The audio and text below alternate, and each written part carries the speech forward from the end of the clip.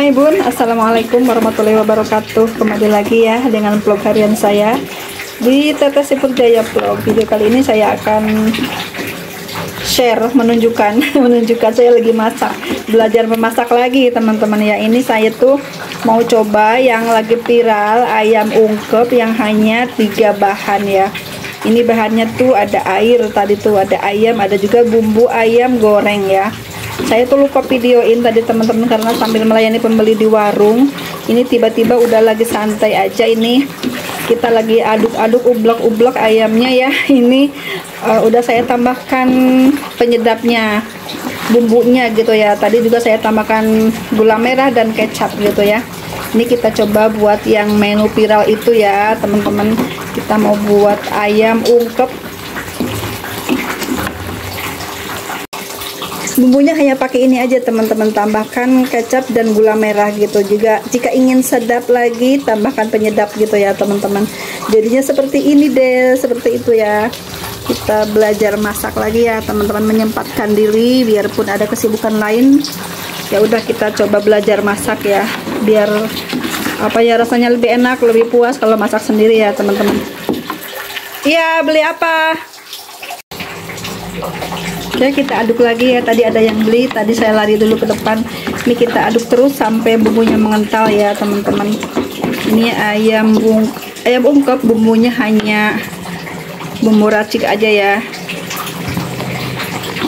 Seperti ini ya tunggu sampai mengental. Nanti kita boleh olah lagi mau digoreng ataupun dipanggang gitu ya teman-teman. Ya lanjut ublek-ubleknya ya. Tadi ada yang beli saya lari ke depan teman-teman.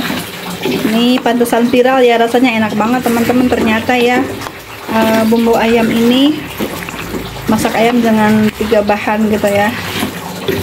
Mudah banget. Caranya tadi saya tambahkan juga salam serai teman-teman ya. Ini tumbuk-tumbuk sampai mengental gitu bumbunya ya nah ini alhamdulillah sudah jadi ya menu ayam viralnya dengan bumbu satu macam. Kita bisa buat ayam seenak ini teman-teman ya. Ternyata ini ya enak banget ya. Pantesan viral bumbunya ya teman-teman. Masaknya mudah caranya mudah e, bumbunya mudah tapi enak banget rasanya ya. Ini udah matang teman-teman udah kering airnya ya. Tinggal nanti kita olah selanjutnya dibakar atau digoreng gitu ya saya coba bakar ya teman-teman. Ini beberapa potong kita bakar. Kita biar tahu rasanya yang dibakar tuh seperti apa gitu ya. Nanti selanjutnya kita coba juga yang digoreng tapi nanti-nanti ya masaknya. Kita panggang dengan api kecil aja supaya tidak cepat gosong ya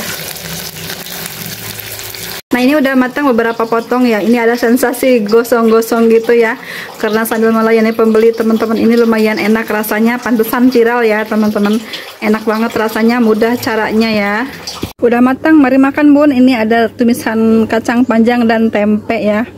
Sebenarnya nggak nyambung enakan pakai sambal lalapan tapi ya adanya ini ya udahlah kita nikmati aja ya.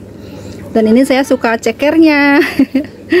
mari makan bunda enak banget rasanya teman-teman. Pentesan viral ya. Ini rasanya manis gurih sedang gitu ya rasanya menurut saya teman-teman. Enak banget. Cobain deh resep ini. Cara masaknya mudah banget ya teman-teman. Tinggal ungkep-ungkep aja aduk-aduk terus kita tinggal sebentar nggak apa-apa sambil diaduk tapinya ya. Dan ini sisanya kita bisa olah kapan aja ya. Kita taruh di kulkas dulu teman-teman ya uh, nanti kita tinggal goreng ataupun tinggal panggang gitu ya. Terima kasih sudah menonton.